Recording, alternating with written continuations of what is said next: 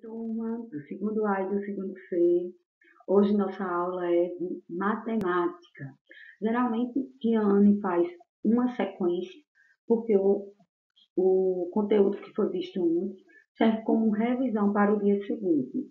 Então, na aula de matemática, iremos utilizar o livro, vai servir de apoio para conteúdos que já foram estudados. Caso você tenha alguma dúvida, você pode buscar o nosso livro, esse livro aqui, ó, do segundo ano, do Max. E nossas atividades hoje, elas serão realizadas no caderno de apoio. Vão se organizando aí, cada um pegando o seu material, abrindo o caderno de apoio. Não precisa ter tanta corre-corre nem agito. O importante é você sempre deixar o seu material próximo, porque na hora da aula facilita mais para a gente ganhar tempo, né? Fica mais fácil. Então, é, os conteúdos que já foram no nosso livro de matemática foram é, funções do, função social dos números, como nós usamos os, os números no nosso dia a dia, é isso? Também já estudamos como os números podem ser organizados para compor quantidades, é quando nós selecionamos, selecionamos os números nas ordens de dezenas, unidade, dezenas e centenas, e também quando nós aprendemos a, a agrupar e fazer contagem a partir das dezenas, agrupando os números de 10 em 10. Então, toda vez que nós trabalhamos as dezenas, nós estamos trabalhando com a quantidade do numeral 10. Então, hoje, no nosso caderno de apoio, as atividades que serão realizadas foram conteúdos já vistos no nosso livro, que foram os números no nosso dia a dia, é, como compomos as quantidades, isso está relacionado diretamente nas ordens unidade, dezena e centena. Sempre que agrupamos de 10 em 10, facilita a nossa contagem, porque toda vez que tem, temos uma dezena, corresponde a 10 unidades. E assim, sucessivamente, né? Duas dezenas, 20 unidades. Três dezenas, 30 unidades. E assim vamos seguindo a, a ordem das, das dezenas. Então, na nossa atividade do caderno de apoio, Tiane hoje só deu uma passadinha nas folhas de, do nosso livro de matemática, porque esse conteúdo foi um conteúdo que nós já estudamos.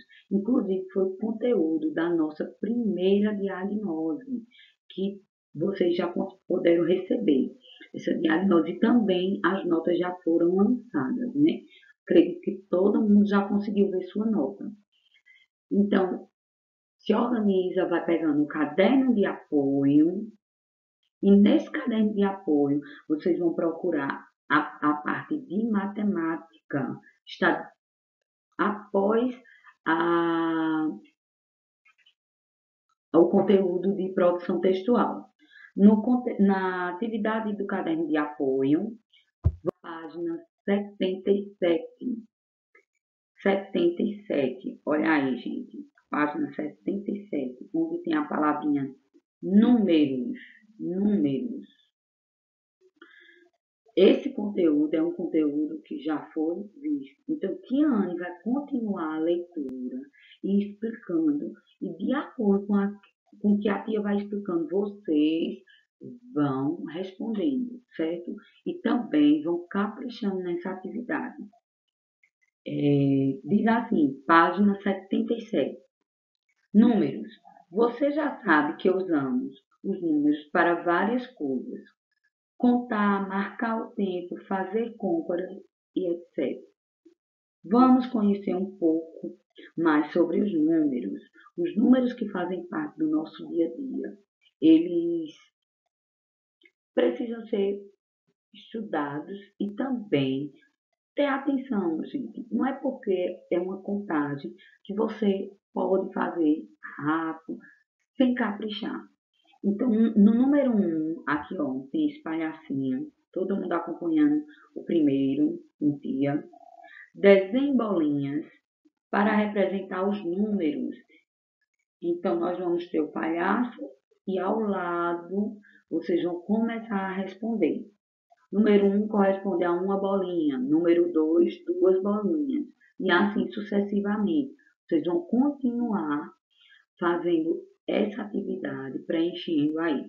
Número 3, número 4, número 5, número 6, número 7, número 8, número 9. Estamos trabalhando a ordem das unidades. A partir do número 10 é que chegamos nas dezenas. Então, nesse número 1, que já foi concluído, vamos partir para o número 2. Ó. Número 2, esse aqui está logo embaixo. Observe o desenho abaixo e responda o que se pede. Então, você pode observar que aí há um conjunto de crianças já a gente vai começar a responder. Letra A. Tem quantas meninas? Observe a fileira de meninos e veja quantas meninas tem. Essa tá fácil. Letra B. Quantos meninos? Ó, vou dar uma dica. Tem nove crianças. Nove crianças. Quantos, na letra C, quantos tem boné? Quantas crianças estão usando boné? E letra D, quantas meninas estão com o cabelo preso? A menininha está com o cabelo preso, aí vocês vão observar. Coloca a sua resposta sempre prestando bastante atenção e acompanhando a leitura da tia, tá certo? Vamos agora para a próxima página, aqui, ó, página 78, que também vai fazer a leitura pausadamente para que vocês possam responder. Certo, gente? Não, não é bom ficar deixando para responder depois.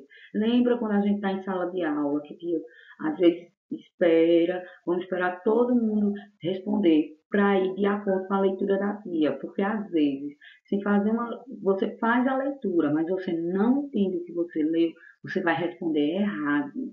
Você tem que esperar, fazer a leitura e compreender, entender o que está escrito.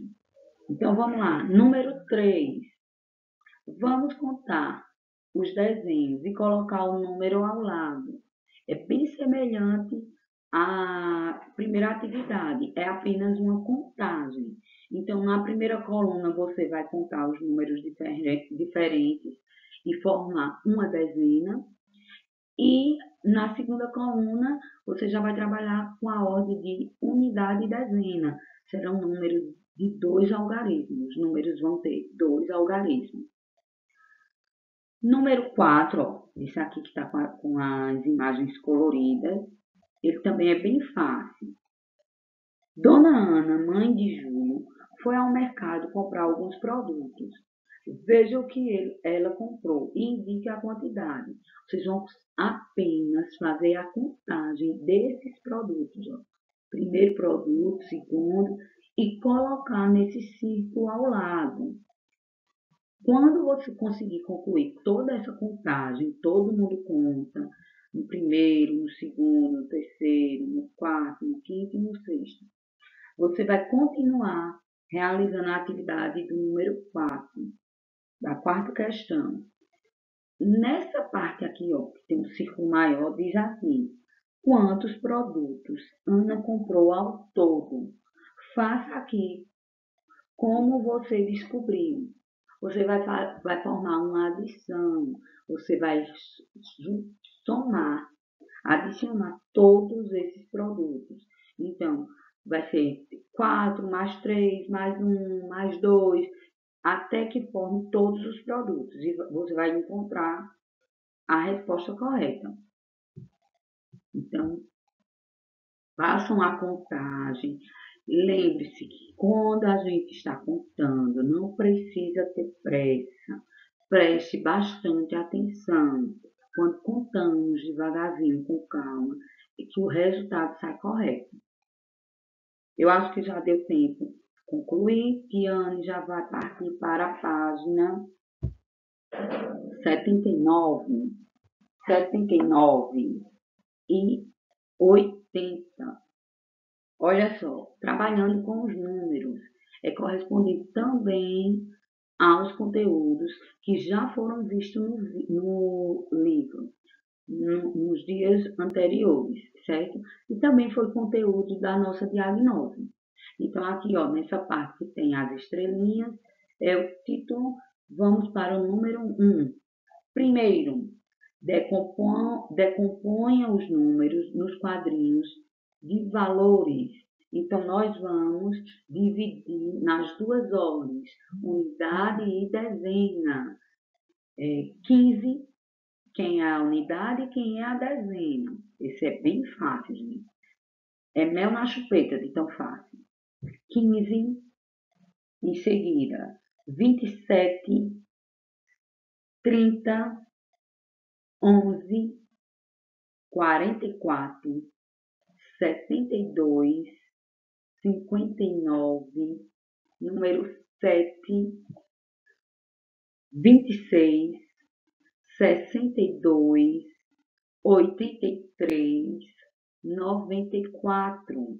Então, esses números vocês vão decompor, mostrar quem é a unidade e quem é a dezena. Isso foi feito em sala de aula no caderno, no livro, na diagnose, eu acho que todo mundo consegue fazer sozinho.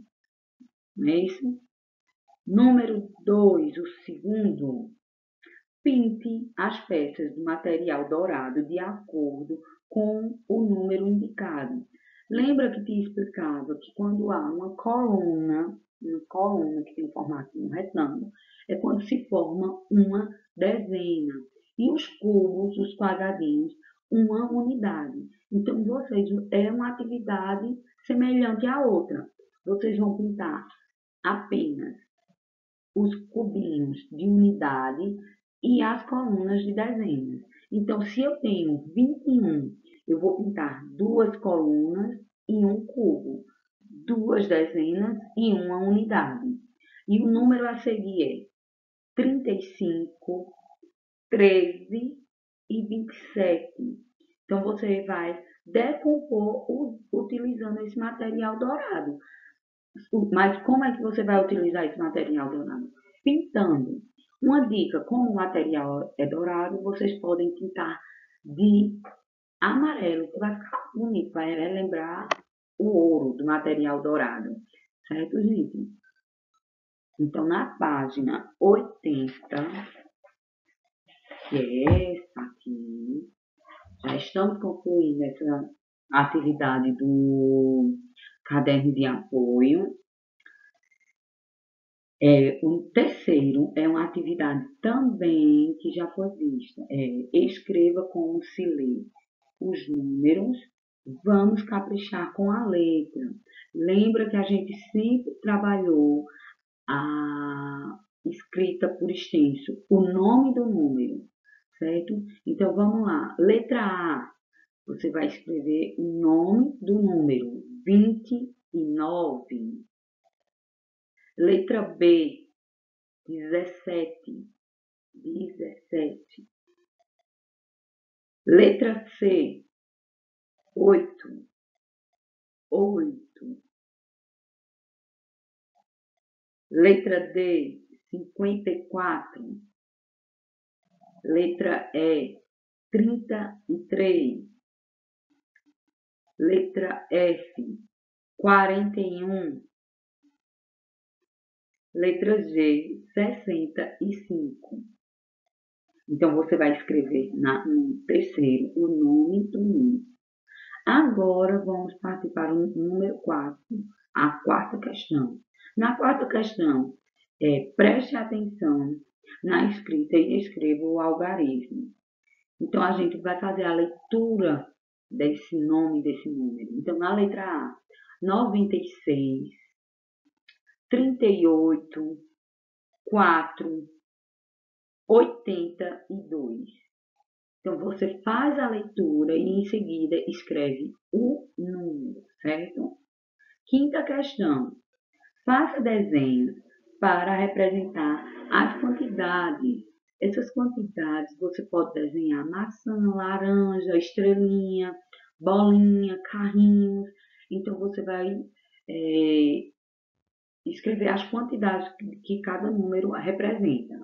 Número 12, 9, 20, 6, 1 e 18. Essas são as quantidades que vai querer que vocês desenhem. Então, em seguida, nós vamos vir para a nossa atividade de casa. Algumas crianças vão gostar, porque a atividade de casa hoje não vai ser no caderno. Então, não vai ser necessário copiar no nosso caderno. Hoje nós estamos utilizando o caderno de apoio, ok? Então, no caderno de apoio, na página 81, vai ser trabalhada as dezenas. Dezenas. Dezenas são 10 unidades. Primeiro, complete o quadro com os números que faltam. Vocês vão se completar a sequência numérica. Número 1, o primeiro. Segundo, pinte o maior número de cada dupla. Então, em cada retângulo aí, vocês vão ter dois números, 35 e 53. Você vai pintar apenas um número maior, 16 e 10, 60 e 42, 85 e 99, 12 e 21, 45 e 54. Então, apenas pintar o número maior. Terceiro, pinte o número que tem. Na primeira linha, você vai pintar apenas o número que tiver três dezenas. Três dezenas. Vai pintar apenas o número que tem três dezenas.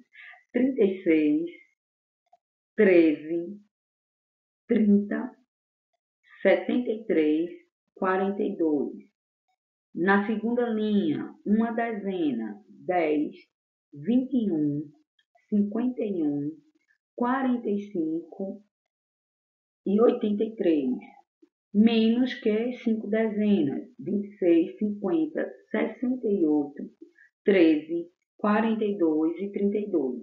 E mais do que quatro dezenas, 13, 43, 80, 31, 46 e 70. Essa foi a página 81. Gente, Tiane, para estar tá lendo, vocês têm que se acalmar, mesmo que o vídeo acabe. Essa atividade é para ser feita em casa. Então, Tia só está fazendo apenas a leitura. Já foi um conteúdo que estudamos e não precisa pensar que não sabe. Não é conteúdo novo, é ter calma e que você consegue fazer tudo sozinho já. Uma atividade que já foi, é, conteúdo que já foi da diagnose, que já foi visto no livro, já foi visto também no caderno.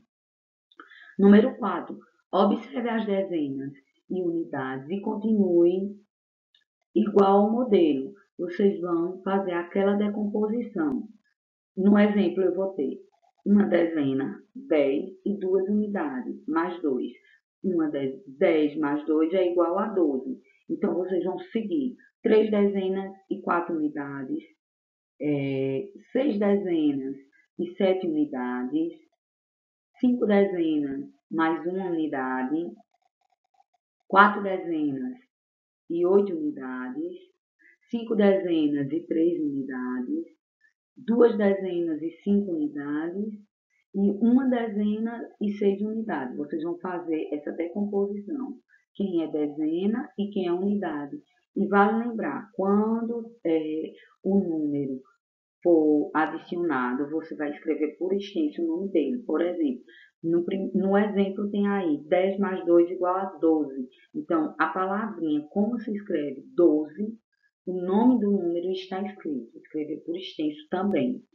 Quinto, Desenhe as laranjas que falta para completar a quantidade indicada. Então, vai ser necessário que vocês completem a figura. Eu tenho uma dezena é igual a 10 unidades, mas eu só tenho 8 laranjas. Quantas laranjas está faltando? Uma dezena mais uma unidade. Quantas laranjas estão faltando? Vocês irão responder e desenhar. Uma dezena mais duas unidades. Quantas laranjas estiverem faltando, vocês vão desenhar. Uma dezena mais três unidades.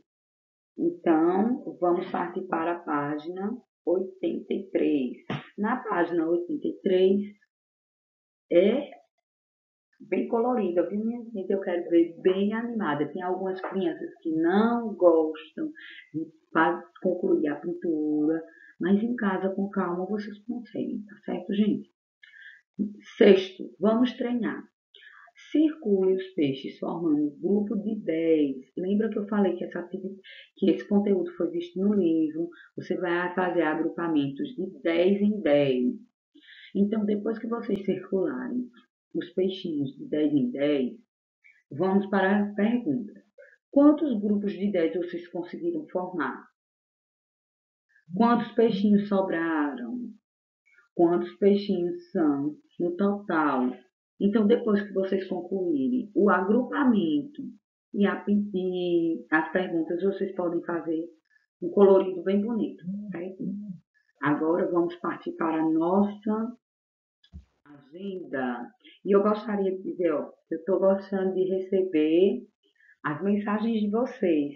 Eu vi que Guilherme, Laura da tarde, é, Giovana, da manhã, Giovana é do segundo A. Algumas, algumas mães estão falando comigo. Recebi bastante foto de vocês estudando. Fiquei muito feliz. Tive o prazer de entrar na casa de vocês, né, gente? Então, é, Guilherme, Laura, algumas crianças me perguntaram e também me mostraram se era para fazer o registro na agenda do colégio. É importante que se faça esse registro, assim como a gente faz na nossa sala de aula continuar fazendo. Então, você vai lá na parte do mês de maio, eu acredito que no mês de maio seja é, uma imagem do, sobre o Dia das Mães, e dá início à sua agenda. É 7 de 5 de 2020. É, o que, quais foram as atividades estudadas? Função social dos números, dezenas, centenas e caderno de apoio. Para casa, deixei a atividade do caderno de apoio da página 81, 82 e 83. Bom, gente, essa foi a aula de hoje. Eu estou muito feliz por poder ter esse contato com vocês, mas estou ansiosa para que nós possamos voltar para as nossas aulas presenciais, porque é muito bom estar com vocês todos os dias. Estou com muita saudade. Um beijão. E até a próxima aula, certo?